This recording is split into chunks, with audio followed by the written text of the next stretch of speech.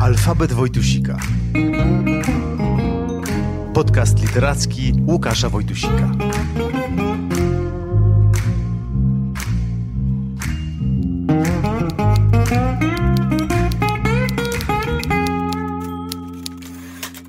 Książce Inne rozkosze jest po prostu Wisłą. W powieści Wiele demonów pojawiają się wiślańscy Siglanie. W mieście utrapienia z kolei mamy granatowe góry. Ponoć jak się o odpowiedniej porze na te góry okalające Wisłę spojrzy, to ten granat widać. A co można zobaczyć idąc śladami Pilcha w Wiśle, gdzie i jak tych śladów szukać. Można oczywiście przyjechać na festiwal Słowa imienia Jerzego Pilcha do Wisły. Można też po prostu wsiąść do pociągu, byle do Wisły, wysiąść na dworcu Wisła Uzdrowisko i z tego miejsca rozpocząć na własną rękę poszukiwania. Tak właśnie zrobimy. Ten odcinek alfabetu Wojtusika będzie przewodnikiem po Wiśle Pilcha. Pisarz spędził tu pierwszych 10 lat swojego życia, czyli tu się Jerzyk wychował, tu chodził do szkoły, tu przyglądał się światu, tu poznawał ludzi, którzy później jako postaci pojawiali się na kartach jego książek. Przewodnikiem po tym miejscu będzie nam Andrzej Drobik, jeden z pomysłodawców i szef Festiwalu Słowa imienia Jerzego Pilcha Granatowe Góry w Wiśle. Andrzej jest również autorem książki, która dla mnie była punktem wyjścia do zwiedzania, do wędrówki. Książki zatytułowanej Wisła w sensie magicznym, nieturystyczny przewodnik po Wiśle Jerzego Pilcha. Mamy wspólnie z Andrzejem propozycję. Potraktujcie ten odcinek podcastu jako prawdziwy audioprzewodnik. Partnerem tego odcinka podcastu Alfabet Wojtusika jest Audioteka. Dobrze opowiedziane historie. Tam znajdziecie największy wybór audiobooków po polsku. W tym pełny wybór książek Jerzego Pilcha i moją najbardziej ulubioną powieść Wiele demonów, którą czyta dla nas Jerzy Radziwiłowicz. Ten odcinek podcastu powstał dzięki kooperacji z festiwalem imienia Jerzego Pilcha Granatowe Góry w Wiśle. Za pomoc okazaną i czas bardzo dziękuję. Nie byłoby jednak podróży, wędrówek, rozmów alfabetowych, gdyby nie moi patroni i patronki. Do grona osób wspierających działania moje podcastowe cały czas możecie dołączyć. Szczegóły znajdziecie na www.patronite.pl. Tam wystarczy wstukać hasło alfabet Wojtusika.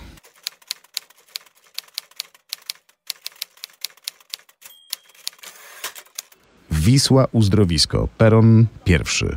Na nim czeka na nas Andrzej Drobik. Spakowani, gotowi? Zapraszam na wycieczkę śladami Jerzego Pilcha w Wiśle. O literaturze Łukasz Wojtusik. I wysiadamy trochę jak Pilchu. Wisła Uzdrowisko, piękny, odnowiony dworzec.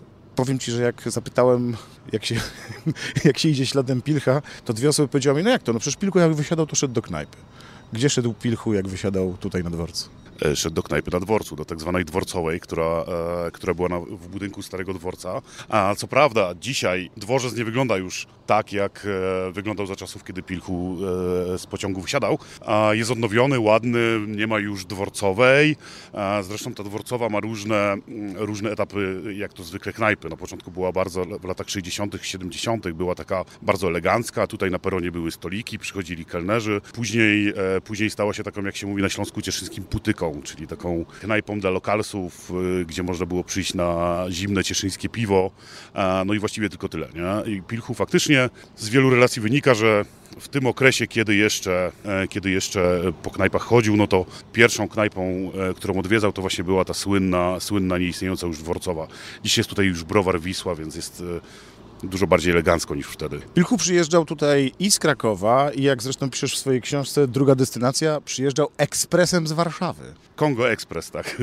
tak Magda Bielska, córka Jerzego Pilcha go nazywała. No tak, to był... Um, Pilchu przede wszystkim przyjeżdżał pociągiem. Nie jeździł samochodem, choć jak się okazało podczas inwentaryzacji domu, na parteczniku miał prawo jazdy, co było dla mnie dużym zaskoczeniem, bo było, byłem przekonany, że go nie miał. Przyjeżdżał zawsze pociągiem, bardzo, e, bardzo ten pociąg e, lubił i zawsze i, i, i, nawet pisał, że tak naprawdę e, kiedy zbliżał się do tej Wisły, kiedy ten most na Pile, a to jest taki ostatni most, który przed dworcem kolejowym mijał, no to to już było takie zwieńczenie tej podróży, um, podróży do Wisły. Ekspres już nie jeździ, choć mówi się o wznowieniach. No teraz, teraz y, tutaj głównie, głównie pociągi z Katowic, więc dalej mógłby jeździć, choć pewnie nie tak łatwo jak y, w latach 90.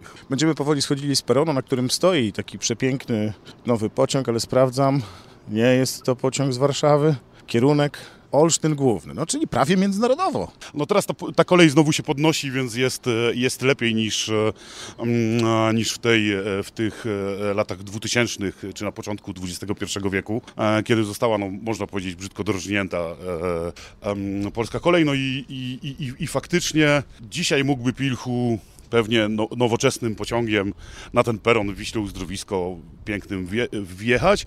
On jeździł do Wisły Uzdrowisku, czyli do, do, tego, do tego, e, na ten dworzec, który, mm, na którym jesteśmy, ale czasami zdarzało mu się jechać jedną stację dalej, e, na stację Wisła Głębce, to jest taka ostatnia stacja, no i stamtąd albo ktoś go odbierał, albo schodził, Zresztą jak wracał, to właśnie lubił specjalnie e, podjechać taksówką do Wisły Głębce. To była taka stacja, na której nikogo nie było. On zawsze sobie sam wsiadał i z tych torów kolejowych widział jeszcze i faktycznie go widać, dom na Parteczniku, czyli dom matki Wandy. O tym e, domu jeszcze opowiemy, a my będziemy schodzili powoli z peronu e, i trochę o tym piszesz w swojej książce, że tak naprawdę to, co możemy znaleźć w literaturze i co dla ciebie było ważne, mocno się na tym skupiasz, to jednak centrum miasta. To znaczy, że rzeczywiście to, co zostało w literaturze e, i jest przetworzone, ale możemy odnajdywać w dzisiaj w Wiśle pewne ślady tej obecności, to są jednak historie z centrum. Sam Pilchu pisze, że i wielokrotnie na to zwracasz uwagę, że to, co ukształtowało jego pisarstwo, to jednak do dziesiątego roku życia, te przeżycia, czyli Wisła. Właściwie to centrum Wisły to było takie, taki mikrokosmos e, młodego Jerzyka. On właściwie z tego centrum się nie wypuszczał.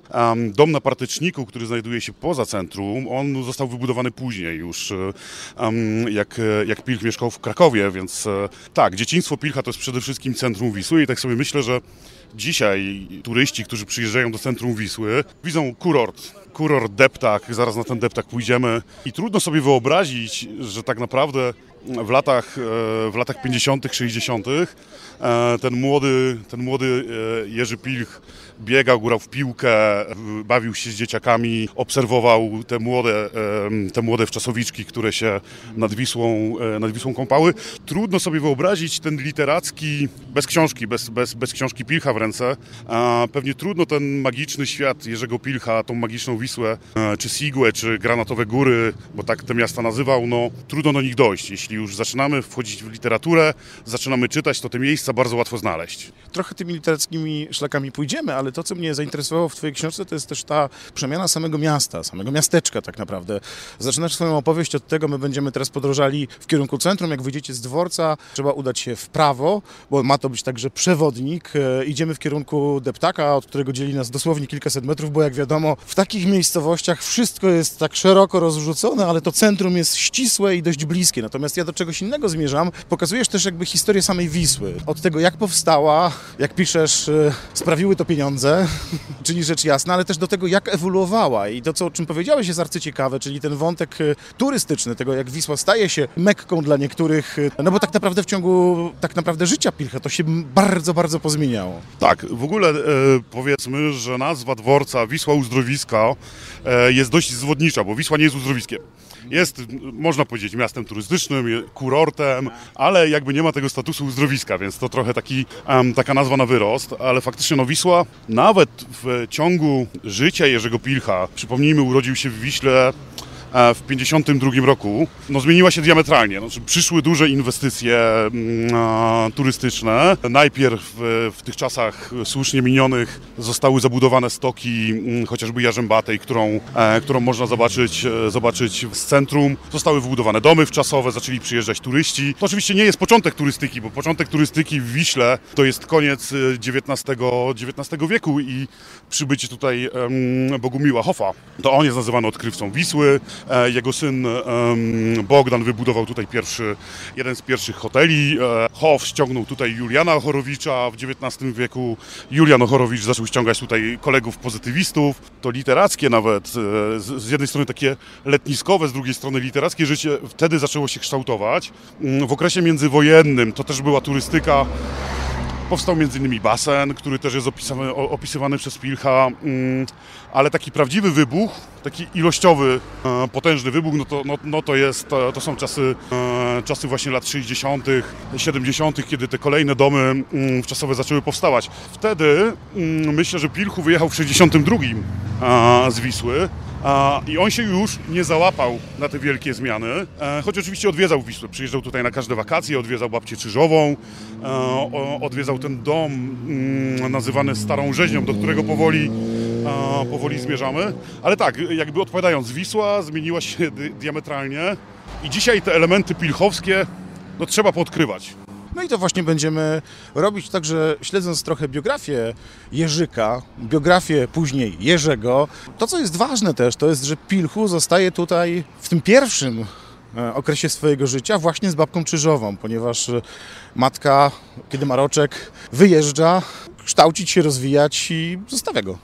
Tak, zostawia go z babką Czyżową. Zdaje się, że na wyraźną prośbę babki Czyżowej, która rządziła, to powiedzmy sobie otwarcie, w Starej Rzeźni e, liczyło się zdanie babki Czyżowej. E, to była taka kobieta, która Trudno się dziwić, że, była, że potrafiła być apodyktyczna, e, no bo ona całą rodzinę najpierw e, wyprowadziła z tarapatów finansowych, kiedy okazało się, że Stara Rzeźnia, czyli, czyli to miejsce, w którym, e, w którym zamieszkała po ślubie z pierwszym mężem, jest w długach, no i pilnowała tej rodziny, trzymała ją w garści trochę. E, Ona powiedziała, zdaje się, że e, Jerzyk musi zostać i, i zostanie ze mną, a wy sobie do tego Krakowa jedźcie.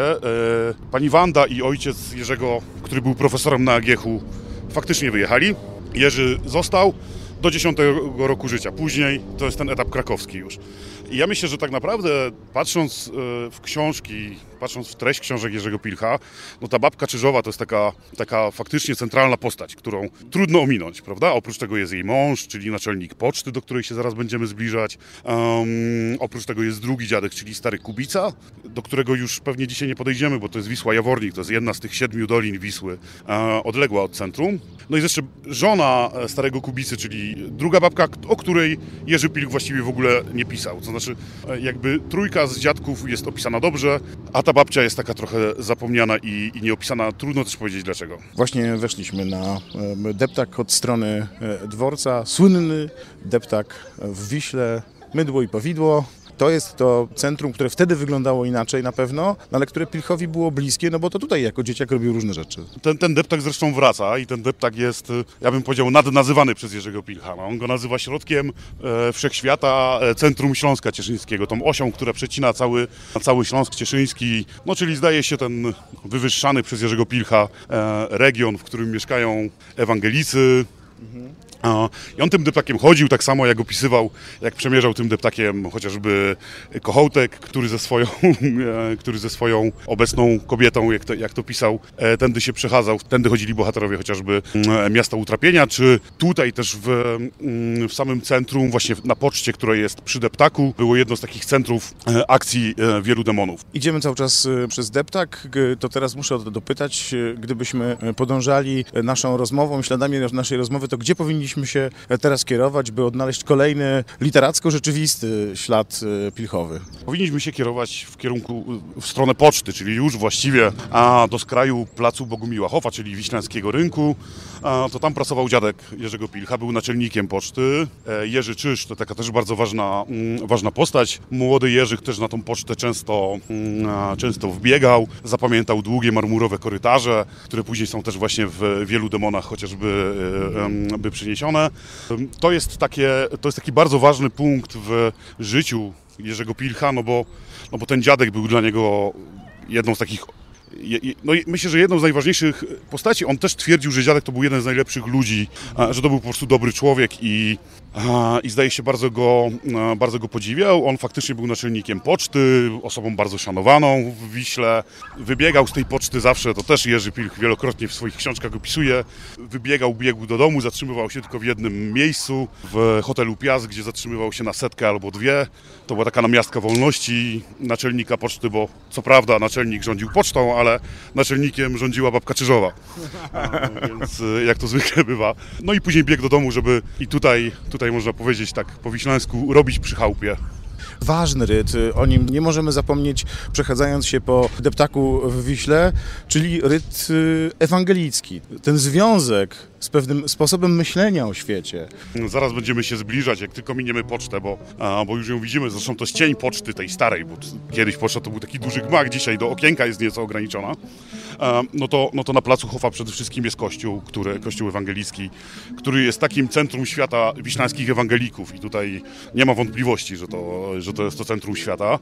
Mm, Naprzeciwko kościoła dom zborowy, czyli bardzo, ważny, bardzo ważne miejsce w życiu Jerzego Pilcha. To tam chodził do szkółki niedzielnej, tam uczył się tej Biblii na początku, e, na początku obrazkowej, później, później już, e, już tej, można powiedzieć, pisanej. Tam ta szkółka niedzielna zawsze, e, zawsze była w, mm, odbywała się w niedzielne przedpołudnie. Jak, jak, jakbyśmy dzisiaj stanęli tutaj na, mm, na placu Hofa, może powiedzmy, że zatłoczonym ludźmi, no bo pogoda piękna, jest faktycznie ludzi jest mnóstwo, to zobaczymy te niewielkie odległości, tak naprawdę. Poczta, dom zborowy to jest około 100 metrów, kościół 50 metrów od domu zborowego. To wszystko tak naprawdę tutaj się zaczyna. Nie? Z tego domu zborowego, ze szkółki niedzielnej młody, młody Jerzyk zawsze wybiegał, żeby zdążyć do kina Marzenie, żeby zdążyć na, um, na film, który też w niedzielne przedpołudnie był grany. Kino Marzenie znajdowało się w domu zdrojowym, który dzisiaj stoi. No, kina już nie ma, jest tam biblioteka, do której Pilch też zresztą później przychodził. E, No ale w tym kinie, e, w tym kinie Marzenie zawsze starał się na film dla, tak zwany, tak zwany film dla dorosłych za a, czyli tam rozumiem, że od 18 roku życia dozwolony, mm, starał się przebić i zobaczyć, jak sam pisał, czasem nieco na gości. I rozumiem, że to jest y, ten budynek i tu poza tym, że trochę się zmieniło, to się nic nie zmieniło. Tak, to jest budynek poczty, który się e, zmienił, właściwie ograniczył się do, do, do niewielkiej poczty z, tej, z tego dużego gmachu, no ale tak naprawdę architektonicznie nie zmienił się w ogóle. Znaczy, też trzeba powiedzieć, że Plac Hofa nie zmienił się od lat 30., czy, czy zmienił się w niewielkim stopniu. Została dobudowana sala gimnastyczna przy szkole, ale oprócz tego cały ten modernistyczny układ budynków to jest dokładnie ten układ, w którym Jerzy Pilch się poruszał. Oczywiście ma inne funkcje. Tam, gdzie była apteka, w którym pracowała w latach późniejszych mama Jerzego Pilcha, żeby go mm, zaraz po skończeniu studiów e, wróciła do Wisły, no i faktycznie, e, faktycznie pilnowała tutaj Jerzy, e, młodego Jerzyka. Siedząc w aptece, tam jest teraz informacja turystyczna, no tak się świat układa, że, że, że, że w, tym kierunku, w tym kierunku to poszło. No, w domu zdrojowym, tam gdzie było kino, marzenie, jest biblioteka, no ale dom zdrojowy, poczta, kościół, no są takie niezmienne, niezmienne. Duża zmiana oczywiście zaszła w Starej Rzeźni, do której pójdziemy pewnie na końcu tej krótkiej wycieczki. Ale tak przyglądam się, bo przy placu stoimy i przy byłym kinie Marzenie, które jest obecnie biblioteką, gdzie odbywają się między innymi coroczne już, to mogę powiedzieć, spotkania festiwalu e, Granatowe Góry, zresztą nie tylko w tym miejscu, mm, ale no, on miał rzut beretem wszędzie.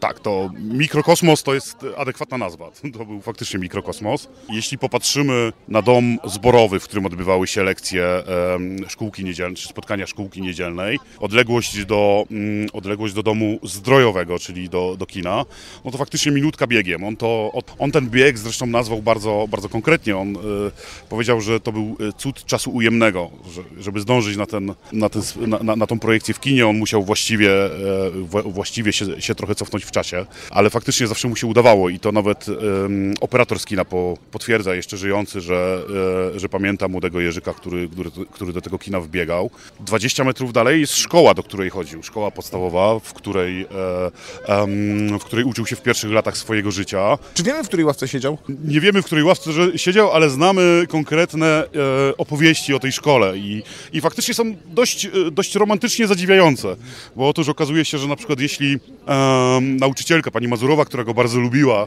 i musiała wyjść, prowadziła lekcję, ale musiała coś załatwić, mówiła Jerzyk, opowiedz coś, on wychodził na środek, e, na środek sali i opowiadał książki, które obecnie czytał. I faktycznie trudno sobie wyobrazić taką sytuację, że dzisiaj dziesięcioletni dzieciak wychodzi, opowiada o książce, którą czyta, a inni go słuchali. Jego koledzy mówią, że tak, słuchali go z, słuchali go bardzo dużym zaciekawieniem, więc y, mm, faktycznie już wtedy On zresztą zawsze bardzo dużo czytał. E, zawsze, e, zawsze to słowo, to też jest taki trochę luterski etos słowa, prawda, wychodzący od Biblii. No to luteranie, szczególnie wiślańscy, dużo czytają. Jego rodzina bardzo dużo czytała. Ten, e, ten oto słowa w Starej Rzeźni był bardzo mocno obecny, a przyjacielem rodziny, zresztą to też powiedzmy, był ewangelicki biskup, Andrzej Wantuła, też osoba niezwykle ważna dla Jerzego Pilcha. Taki autorytet? Wujek trochę. No tak, tak, o tak, tym piszesz. I wujek z prawdziwym autorytetem. A, I zresztą duży kibic, e, duży kibic e, pisarstwa Jerzego Pilcha. To znaczy on zawsze mówił, że ty będziesz pisał. I on w to chyba uwierzył. Zresztą bardzo skutecznie w to uwierzył, bo faktycznie pisał. E, I pisał, i pisał wyśmienicie, więc Andrzej Wantuła jest osobą bardzo, bardzo ważną, a to była taka tajemnica Poliszynela trochę, że prawie ksiądz wtedy jeszcze Wantuła mogło dojść do sytuacji, że to on ożeniłby się z babką Czyżową natomiast był zbyt wolny i dziadek Czyż, czyli Jerzy Czyż, e, jakby szybciej do tych zalotów podszedł i, i przegonił biskupa późniejszego Wantułę. Przeszliśmy dosłownie no, 50 metrów. E, cały czas e, widać budynek, w którym dawniej mieściło się kino Marzenie, a przed nami gmach trzykondygnacyjny z bardzo charakterystycznym dachem, koloru takiego powiedziałbym żółtego. No i właśnie, tutaj pytanie bardzo ważne, czy Pilchu był dobrym, pilnym uczniem? Jak to mu szło? W tych latach wiślańskich był dobrym, pilnym uczniem. To na pewno. To znaczy był uczniem wybijającym się, był uczniem, który, który był którego inteligencja była wielokrotnie przez nauczycieli podkreślana. E, ale tak, tak, wszyscy mówią, że, mm, że przodował. Tu po sobie dobre świadectwo zostawił. Tak, tak, zdecydowanie. Zdecydowanie zostawił dobre świadectwo. E, zresztą ten budynek szkoły, jak sobie na niego popatrzymy, to właściwie naprzeciwko ja pokazuję palcem, Państwo tego nie widzą, ale to jest też rzut kamieniem, jest, e, jest ta apteka której, do której zawsze Jerzy wychodził ze szkoły, musiał iść się zameldować do mamy, która w tej aptece sprzedawała. No więc był pod ścisłą kontrolą właściwie, jakby popatrzeć e, na młodego Jerzyka, który wychodził ze szkoły, to tam babka Czyżowa, tam e, dziadek Czyż, a tam mama, więc jakby wszyscy go mocno pilnowali. On zresztą był oczkiem w głowie, to trzeba powiedzieć. Mm, był oczkiem w głowie babki Czyżowej. Wszyscy kuzy, kuzyni Jerzego Pilcha mm, mówią, że mógł więcej mógł więcej, wypracował sobie taką strategię niepracowania w polu. Zepsuł kilka razy mm, e, coś dość skutecznie i babka już mówiła, dobra Jerzyk, ty będziesz od czegoś innego, ty, ty nie musisz pracować. Więc kuzyni, kuzynki um, Jerzego Pilcha szły chociażby kopać ziemniaki, no a Jerzy mógł się wtedy na schodkach Starej Rzeźni albo na schodkach szkoły, albo gdzieś w okolicach e, Placuchowa oddawać się lekturze. A vis-a-vis budynku szkoły kolejne miejsce ważne dla Jerzego Pilcha, czyli dom zborowy. On jest ważny podwójnie, myślę. Po pierwsze, ta młodość Jerzego Pilcha, czyli szkółka niedzielna, e, czyli te, e, te pierwsze kontakty z e, nauczycielami Biblii, rozmowy o Biblii, która zresztą z Jerzym Pilchem została do końca życia. To, to też trzeba powiedzieć i myślę, że mm, w tym ostatnim etapie bardzo mocno wrócił do, do wiary. Też jego rodzina twierdzi, że on nigdy się za bardzo od wiary nie oddalił, po prostu trochę inaczej przeniósł swoje akcenty. To jest, to jest pierwszy, pierwszy ważny element. Drugi to już jest dojrzały pisarz pisarz Jerzy Pilch, który mieszkał już w Krakowie, który przyjeżdżał tutaj do matki, ale który nigdy nie miał spotkania autorskiego w Wiśle. No bo o Wiśle pisał często złośliwie, często żartobliwie, mm, bardzo mocno się tego obawiał i tutaj chyba w 97 roku odbyło się pierwsze spotkanie Jerzego Pilcha z e, publicznością wiślańską. On się tego spotkania bardzo mocno bał, jego mama się bardzo mocno bała. Jego mama bała się, co ludzie powiedzą, jak skomentują. Wiedziała, że Jerzy ma krótki ląd, jeśli chodzi o E, o, spory, więc mo, może dojść do, do jakiejś katastrofy albo awantury, prawda? Ta sala domu zborowego była wypełniona po brzegi. Są relacje, które mówią o tym, że faktycznie e, jakby było mnóstwo ludzi i wszyscy przychylnie o prozie Jerzego Pilcha się wypowiadali. To był taki kamień serca spadł. Chyba myślę przede wszystkim mamie, która się bardzo martwiła o, o, o swojego syna. A to, co Państwo słyszą, to dzwony. Jeśli dobrze słyszę, to z takiego miejsca kolejnego, które też gdzieś na mapie śladów literackich Pilcha się pojawia. Tak, no to jest, to są, to jest dzwonnica, dzwonnica na kościele apostołów Piotra i Pawła, czyli tego głównego kościoła ewangelickiego w Wiśle. Zresztą E, na tej dzwonnicy też możemy, możemy te tropy literackie bardzo łatwo związane z tą dzwonnicą e, znaleźć. Tutaj e, kościelny Messerschmitt chociażby, który, który, te, dzwony, który te dzwony uruchamiał.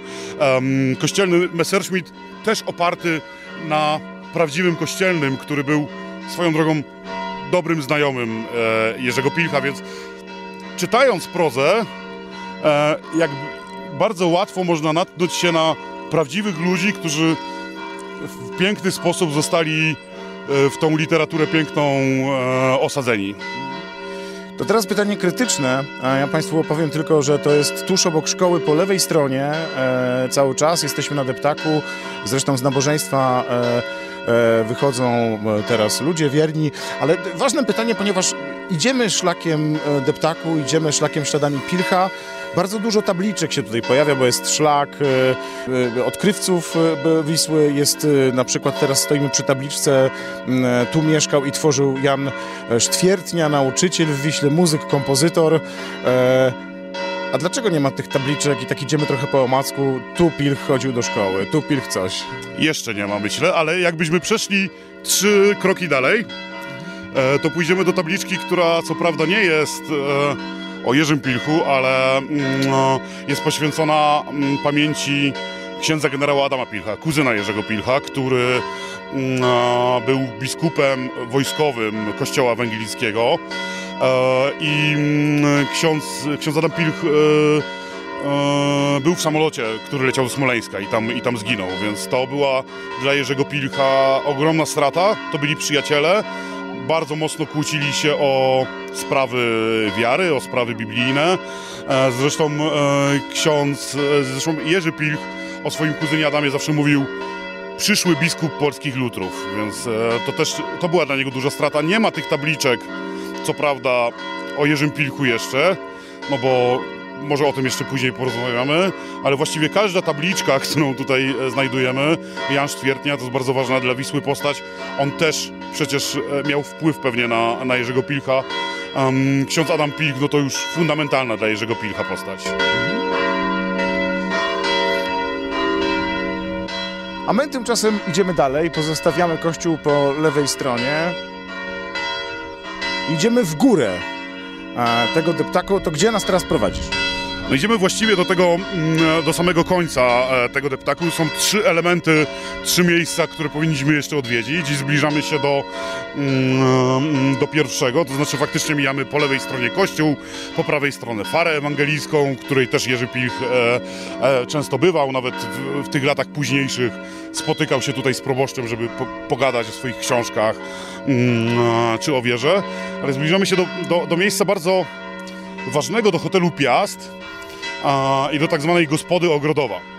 To jest, e, trochę wróćmy do tego e, starego Jerzego Pilcha, to jest też miejsce, w którym on em, odbywał z jednej strony, ale miejsce ważne dla jego rodziny, bo tutaj, e, tutaj doszło do, do śmierci też, którą, e, do której Jerzy Pilch wraca i którą wielokrotnie opisywał, mm, Adama, Adama Czyża, czyli wujka Jerzego Pilcha, który na, no był w gospodzie, e, zdaje się, że pod wpływem alkoholu udławił się kiełbasą i, i, w, ten sposób, e, i w ten sposób wyzionął ducha na ławeczce, którą tutaj, e, którą tutaj widać. I to jest, em, to też był duży szok przede wszystkim dla babki Czyżowej, dla całej rodziny, em, bo Adam Czyż był uważany za taką dużą nadzieję całej rodziny.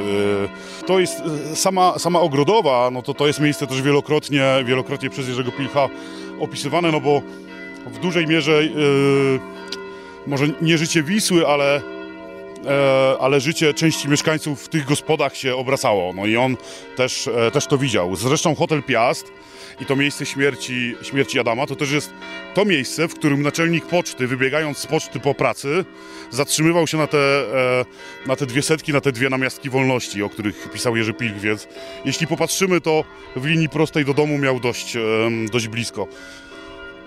Myślę, że to wszystko jest naładowane trochę literaturą, jeśli tylko spojrzymy na to literacko. Do tego sięgania po literaturę Pilcha trochę, a nawet bardzo przy okazji takiego spaceru namawiamy. To może być e, tak naprawdę świetny pretekst. A Andrzeju, jaki jest twój ulubiony utwór literacki Pilcha? Bo ja od razu mówię, że moja książka ulubiona to jest jednak Wiele demonów. Bo wiele demonów, e, jedyna prawdziwa powieść, można powiedzieć. A, no ja patrzę z innej perspektywy, z perspektywy wiślańsko-regionalnej i, i, i dla mnie... Dzięki bardzo. Dziękujemy, nagrywamy, dziękujemy, ale bardzo nam miło. Um, e, jakbym miał powiedzieć o ulubionym, znaczy, myślę, że mam trzy. Um, wiele demonów, Ta akcja dzieje się w e, mie- miejscowości Sigła, która e, owianej tajemnicą i, i wyobrażam sobie Fryca Moiczka, który tutaj, mm, e, które tutaj biega. Tak, wiele, ale, ale, ale jeszcze dwie. No po pierwsze, inne rozkosze. Prosta, fajna książka, która, która też ma dla mnie fundamentalne zdania. Absolutnie uwielbiam niektóre zdania z tej książki, które też opisują, mm, opisują Wisłę. E, no i leworęczność, no bo jest bardzo wiślańska, jest bardzo lokalna, jest taka, mm, taka nafaszerowana tą lokalnością. To myślę, że te trzy.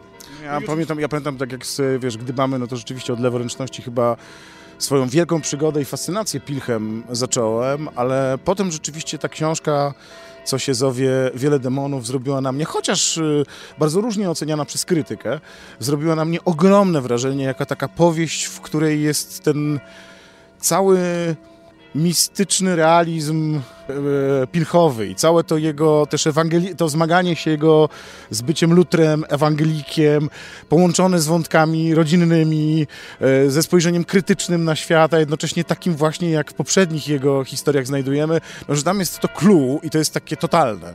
Tak, ja myślę, że tak, ale takie clue jest też i ja oczywiście wymieniłem trzy, no ale jakby nie mógłbym nie, nie dopowiedzieć, że jednak pierwszy dziennik, no to jest, to jest też dla mnie fundamentalna książka. Tam też jest zmaganie z Bogiem, ze sobą, właściwie jakby relacja Pilcha, Pilcha z Bogiem jest bardzo mocno, mocno widziana. To radzenie sobie z chorobą, to wszystko w tych dziennikach e, jest, to są dwie zupełnie różne książki, ale myślę, że dość podobne wbrew pozorom. E, e, Więc myślę, że muszę to rozszerzyć na cztery. No to jesteśmy teraz y, przy y, Ogrodowej. Y, Tutaj dziś pewnie skosztujecie Państwo obiadów domowych, a hotel Piast zamienił się na pokoje Piast, ale nadal istnieje. I proszę, i znowu tych literackich konotacji jest sporo, bo pojawia się kolejna tabliczka Marii Konopnickiej, autorce, to na tym budynku właśnie hotelu Piast, autorce Roty z wdzięczności za poetyckie dowody więzi duchowej z Beskidem Śląskim, a po drugiej stronie vis-a-vis w ramach szlaku odkrywców Wisły Gombrowicz. Gombrowicz, o którym też pi- pisał, e, o tym jego pobycie w Wiśle, o tych kontrowersjach, o spotykaniu się tutaj, rozkochaniu w sobie nieletniej, e, nieletniej kobiety. Zresztą w autobiografii w sensie ścisłym, zdaje się, te zdjęcia Gombrowicza mm, się znajdują. No to jakby, bo Pilch, ja, ja myślę, że to można powiedzieć, że myślimy sobie o Pilchu, który u, urodził się w Wiśle, trochę na końcu świata, w tym najbardziej purytańskim ze wszystkich możliwych e, mm, miejsc, gdzie purytanie żyją, ale jest to miejsce, i myślę, że Pilk to dostrzegał bardzo mocno naładowane literacko. Między innymi przez Juliana Ochorowicza, który tutaj, który tutaj mieszkał, który wybudował tutaj swoją willę i który tutaj, według legendy, nie wiem czy potwierdzimy czy nie, podarł pierwszą wersję chłopów Raymonta, powiedział mu, że to słabe, pisz na nowo. Faktycznie Konopnicka, Gombrowicz, Raymond. Myślimy tylko o Zakopanem zawsze, nie? Jak, jak, jak Tak, to prawda.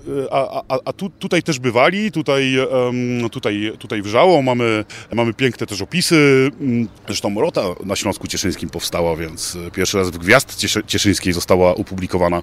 E, Myślę, że to dla Pilcha też miało takie duże znaczenie i, i też było przez jego rodzinę mocno przekazywane, no bo przecież jeśli rodzina w tym etosie słowa rosła, no to pewnie wykorzystała te, e, te obecności minionych pisarzy, nie? Hotel Piast to jest taki, to jest pierwszy hotel w Wiśle. O, Jego założył e, Bogdan Hoff, syn Bogumiła Hoffa. To jest taki trochę dzisiaj już hotel upadły, to znaczy właściwie, który wyrosło wiele innych hoteli, ten został zapomniany, no dzisiaj już nie jest tym, e, tym znanym hotelem Piast, w którym by chociażby Konopnicka mogła się, e, mogła się zatrzymać, ale zaraz obok, bardzo niepozorny, ale też modernistyczny. Ja bardzo lubię to, że to, to w ogóle nie zmieniono w swojej bryle od, od momentu budowy. Dom towarowy u Wojnara, którym znowu dwie historie pilchowskie. Po pierwsze, młody Jerzy wbiegał do tego, mając jakiekolwiek pieniądze, które gdzieś tam dostał, wbiegał i kupował chociażby zabawki czy, e, czy słodycze. Zresztą dziadka często na, na te słodycze namawiał dzia- dziadek e, Jerzy, czyż był cukrzykiem, nie mógł jeść, ale cały czas miał cukierki w, e, w płaszczu i cały czas tego Jerzego, Jerzego młodego pilcha częstował. On z nim tutaj często chodził, a jak zaraz zauważymy, nie miał daleko. Ale Jerzy Pilch też pisał o tym, że już w drugiej dekadzie tego wieku wrócił do Wisły, żeby pisać i nigdzie nie mógł oglądać meczy Krakowi. Znaczy nie mógł znaleźć, chodził po knajpach, że, żeby sprawdzić, gdzie na mecz Krakowi może przyjść. No i ostatecznie przyszedł tutaj do pubu Sofa, gdzie, gdzie te mecze Krakowi mu puszczano. I to jest właśnie, pub Sofa to są piwnice domu wczasowego u Wojnara. Czyli właściwie naprzeciwko starej rzeźni pierwszego domu Jerzego Pilcha, do którego możemy zrobić trzy kroki. No to podejdźmy w takim razie. Obecnie piekarnia, cukiernia. A wcześniej, wiele lat temu? Stara Rzeźnia. Stara Rzeźnia, dom rodzinny e, rodziny Czyżów, ba, babki Czyżowej, naczelnika Czyża. Tutaj działo się całe życie. Tutaj babka Czyżowa przyjmowała gości, przyjmowała biskupa Wantuę. Tutaj to całe rodzinne życie e, Czyżów lat 50. się, mm, się kształtowało i, i, i myślę, że to jest takie miejsce przepełnione historią, które oczywiście żyje sobie na nowo. Znaczy, to życie tutaj ciągle trwa. To można dzisiaj przyjść, kupić bułkę, mm, koła czy wiślański. Mm, natomiast oczywiście nie wejdziemy do całego, no bo tutaj jest, e, tutaj jest taki fragment odgrodzony dla klientów. To tutaj była szabla e, pułkownika Czyża słynna. No i tutaj jakby Jerzy Pilch Wielu jego kolegów, ja do nich dotarłem e, podczas też tworzenia tej książki, wspominało, że on sobie tutaj siedział zawsze i albo coś notował, albo, albo czytał książkę. Na tych schodkach, które dokładnie są pewnie niezmienione od, od tamtych czasów.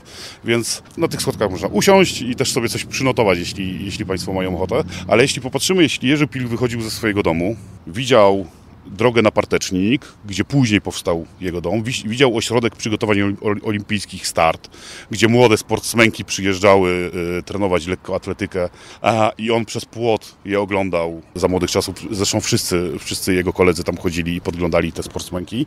Tutaj grali w Parku Koprzyńskiego, było boisko, w którym, na którym grali w piłkę nożną. 50 metrów, 100 metrów i już kościół ewangelicki, dom zborowy, dom zdrojowy, rynek. Ba bardzo mała przestrzeń, ale też trzeba sobie zdawać sprawę, że Stara Rzeźnia była też e, trochę gospodarstwem. To znaczy, że e, w latach 50. to miasto wyglądało zupełnie inaczej. Dom u Wojnara już stał, ale oni mieli przecież krowę.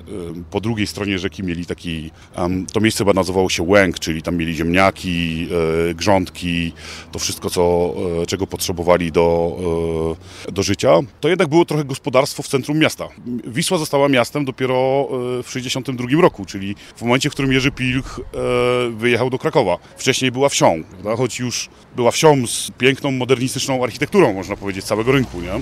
No właśnie, skąd ten modernizm? Bo o tym też trochę w książce piszesz, że to też jest arcyciekawy wątek. Już w naszej rozmowie kilka razy powiedziałeś, że ten, to jest ten modernizm, który ty jednak lubisz, do którego podchodzisz z szacunkiem. Bardzo, bardzo go lubię. Myślę, że to, to że on jest w dużej mierze niezmieniony, daje nam, daje nam jakiś taki piękny obraz e, tamtych czasów. Ten modernizm wziął się z Katowic. Autonomiczne województwo śląskie potrzebowało miejsca, gdzie mieszkańcy mogą odpoczywać. No, zdaje się, że trafiło między innymi na Wisłę. E, no i, no i tutaj władze województwa ulokowały pierwsze inwestycje. Od, o, od gminy ewangelickiej wykupiły Plachofa. Tam stworzyły modernistyczne, właśnie taki modernistyczny ciąg, ciąg budynków. Zresztą za te pieniądze e, ewangelicy wybudowali dom zborowy, za te, które otrzymali za wykup placu. To jest, e, to jest tak, że nie dość, że Katowice trochę decydowały o tym, bo jeśli Katowice są modernistyczne, a wtedy były modernistyczne i wtedy się, e, wtedy się tak kształtowały, no to tutaj powinno być tak samo. Dostaliśmy nawet takiego człowieka, który decydował o architekturze i dom Wojnara na początku, ten, który naprzeciwko Starej Rzeźni, miał być taką, takim budynkiem w stylu alpejskim.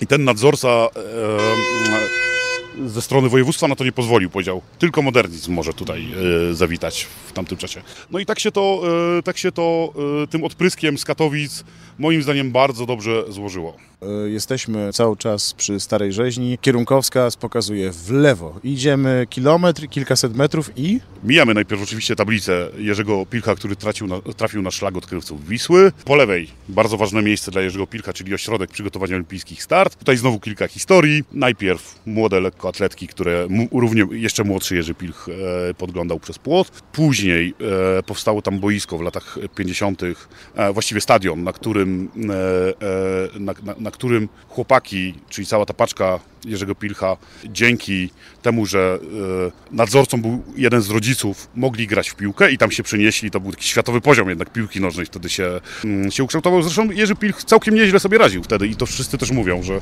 e, że był z tych ambitniejszych młodych pił, piłkarzy. Chyba w 2010 roku Jerzy Pilch, kiedy, kiedy się tędy przechadzał, wracał do domu na partecznik już, który będzie ostatnim takim elementem naszej, e, naszej wycieczki, spotkał Andrzeja Gołotę i nawet zamienili kilka, kilka słów. Pilch wtedy powiedział, że oczywiście wróży, że Gołota wygrał, bo jest wygra, bo jest wielkim bokserem. Gołota skomplementował, nie wiadomo czy, czy zgodnie z, ze stanem jego wiedzy, Pilcha jako pisarza. No i tak, tak sobie jeszcze Jerzy Pilch zrobił wtedy wywiad dla Gazety, e, Gazety Wyborczej e, w towarzystwie Andrzeja Gołoty. On chyba tą walkę wygrał wtedy Gołota, nie? No ale jakby ostatnim elementem i takim trochę zwieńczeniem tej, e, tej wycieczki jest dom na Parteczniku. Bardzo obecnie niepozorny dom na Parteczniku. Partecznik 5A e, można poszukać, choć mapa e, troszkę źle prowadzi, więc, więc trzeba się, się nieco wysilić, e, bo to jest dom, który mm, w latach 80. ukończyli rodzice Jerzego Pilcha. To jest na ziemi otrzymanej od babki Czyżowej, postawili swój dom, tam mieszkała Wanda Pilch, to jest duży, mm, można powiedzieć dwu, trzyrodzinny dom, bo tak myślę mama e, myślała o, o rozwoju historii, historii rodziny Jerzy Pilch był wtedy jeszcze e, przecież e, w związku małżeńskim e, z, z profesor Anną Bielską. To wszystko się dobrze kształtowało, pewnie dla, dla Wandy. Potoczyło się inaczej.